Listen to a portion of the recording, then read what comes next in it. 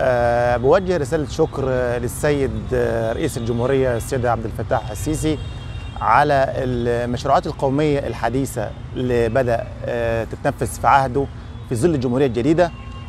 ومن ضمنها طبعا أنا بتكلم عن نفسي كابن من أبناء محافظة أسيوط مشروع الصرف الصحي في مركز زيروت اللي أنا تابع ليه.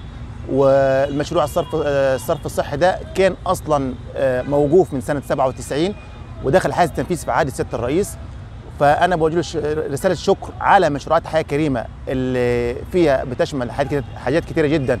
في المواصلات في الكباري في شبكة الاتصالات في المدارس مراكز الشباب.